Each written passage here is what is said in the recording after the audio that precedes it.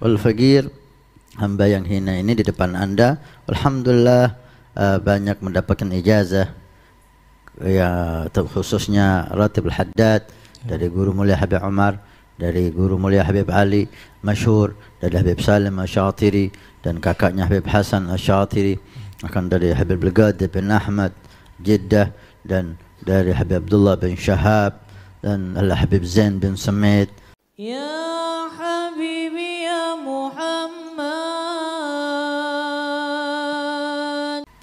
Assalamualaikum ya Habib Assalamualaikum warahmatullahi Ya Habib, bagaimana hukumnya mengamalkan Ratibul Haddad sedangkan saya belum mendapatkan ijazah hanya ya Habib?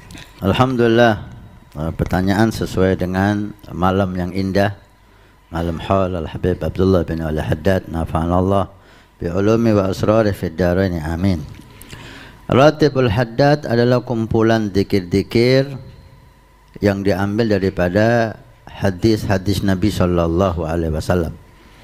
Bisa dikatakan hampir seluruhnya dikir ratib itu dikir yang Nabi menyuruh kita untuk baca.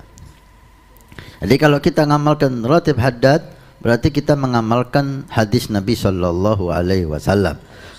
Kalau sudah itu hadis Nabi maka enggak perlu ijazah nggak perlu ijazah tapi keberkahan membaca ratib dengan ijazah jauh lebih besar daripada membaca ratib tanpa ijazah. Jika ditanya apakah boleh baca ratib tanpa ijazah? Maka jawabannya boleh. Karena dikir ratib adalah dikir yang diambil dari hadis Nabi sallallahu alaihi wasallam. Tapi dengan ijazah lebih berkah lebih utama. Anda di kota Bekasi, di situ banyak para habaib, para guru mulia yang sudah mendapatkan ijazah uh, dari guru-guru mulia sampai ke Habib Abdullah Haddad. Di Bekasi itu ada siapa itu?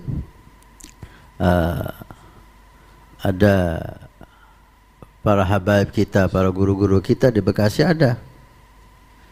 Ada yang tahu antum siapa di Bekasi? Uh, lupa sekarang anda di sini. Yang jelas ada itu di Bekasi dan di situ dekat Jakarta uh, ada Lahawi, ada di situ uh, Habib Jindan di uh, pondoknya ada Habib Muhsin dan banyak sekali Lahawi ada putra-putranya Ami Abdul Qadir Al Haddad ada Ismail ada Habib Nagib bin Syekh Abu Bakar bin Salim.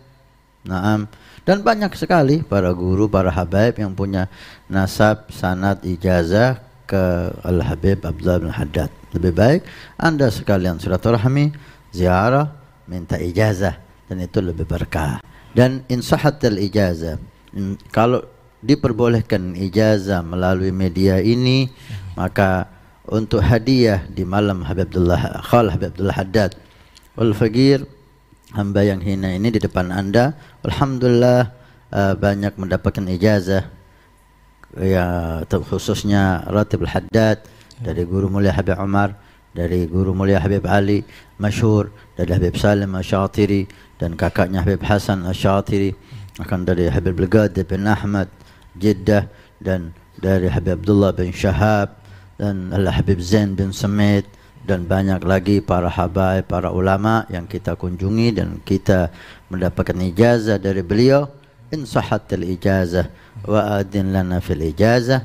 Maka di malam mulia ini semuanya uh, Al-Faqir beri ijazah khususnya untuk baca kalam apa ratib Habib Abdullah Al-Haddad dan Wiridul Latif dan kitab-kitabnya Habib Abdullah Al-Haddad. Qabilna ijazah. Nabi bersabda, "Man bana masjidan banallahu baitan fil jannah."